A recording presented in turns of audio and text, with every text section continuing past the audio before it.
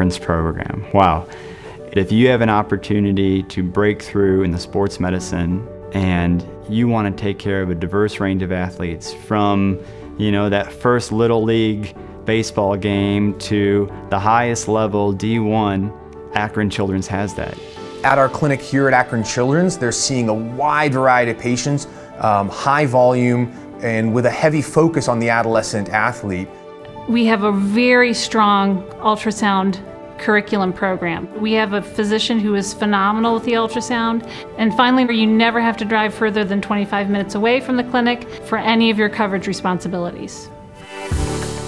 Bottom line is if you want a culture that nurtures you and pushes you to be the best version of yourself as a sports medicine physician, our program has that. It's a very well-rounded program with enough clinic time and enough teaching time. We have a fantastic relationship with the University of Akron. We've been providing coverage there for years and our sports med fellows have really been fortunate to have gotten a lot of autonomy there and really take on the team physician role working with Division One athletes.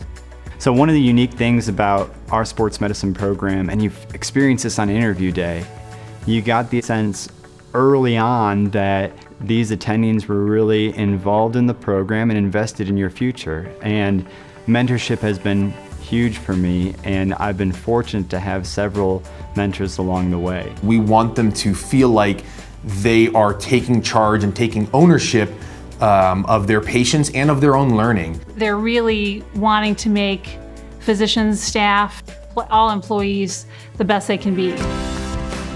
Oh, what makes Akron so special? It's a small city that's got a big feel. The more you see other places, you really come to appreciate what you have here.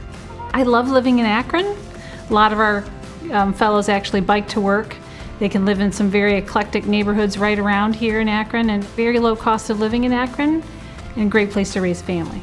I'm so fortunate to have trained at Akron Children's because it set me up for success and it's really just been it's been a wild ride, but I'm very grateful for that opportunity.